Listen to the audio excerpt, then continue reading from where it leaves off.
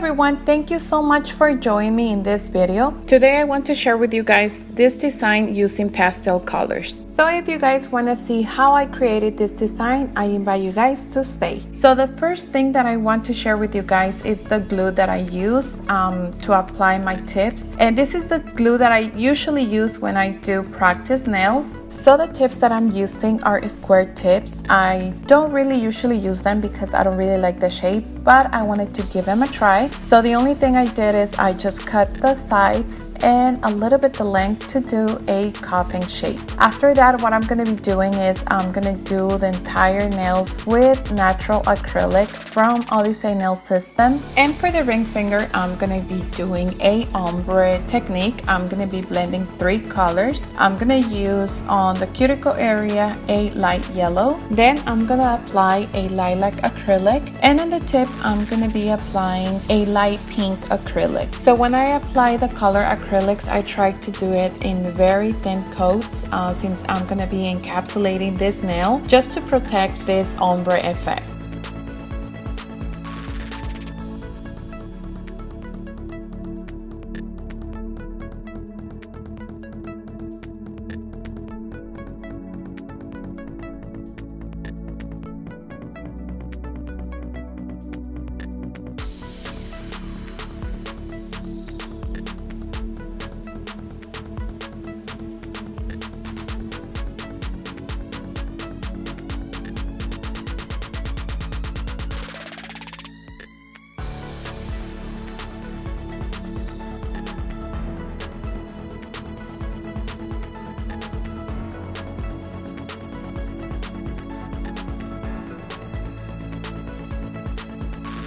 After that, I'm gonna file. In this case, I'm not gonna buff the nails because I'm gonna be doing the Russian technique. So I'm just gonna clean the nails and they're gonna be ready to do this technique. The colors that I'm gonna be using are light yellow, mint, light pink, and lilac.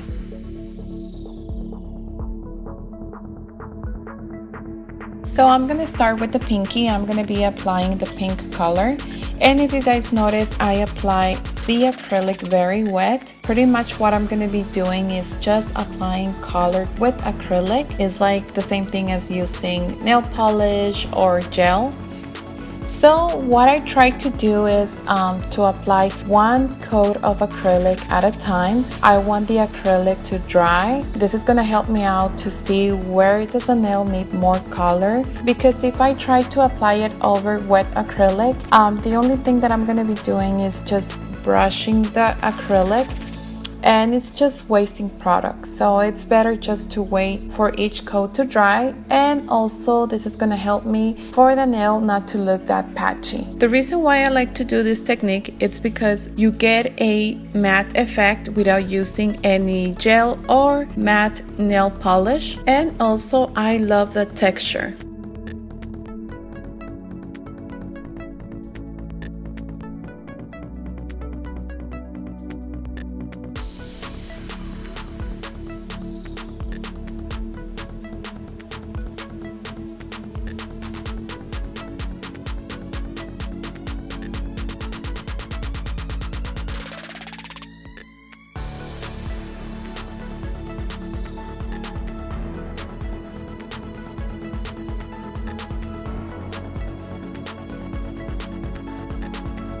Now after that, I'm gonna go to the ring finger and I'm gonna be doing some 3D flowers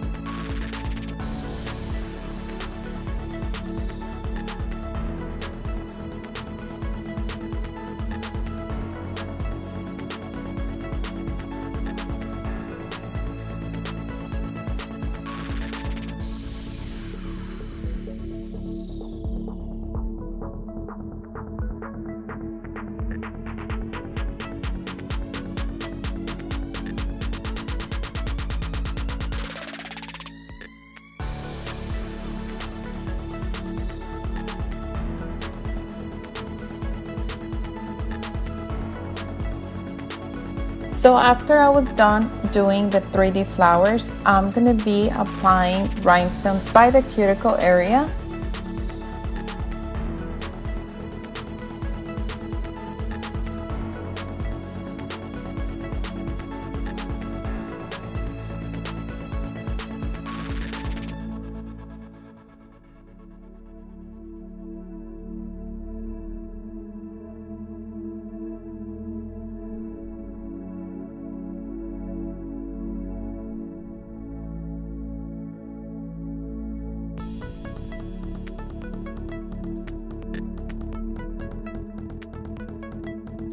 So after applying the rhinestones, I'm gonna apply cuticle oil. So this is the result of the design. I hope you guys like it. And if you guys do, please give it a thumbs up. You guys can leave your comments down below of what do you guys think about this video. And I want to invite you guys to subscribe to my channel to see more upcoming videos. Thank you so much for joining me today and I'll see you until the next one.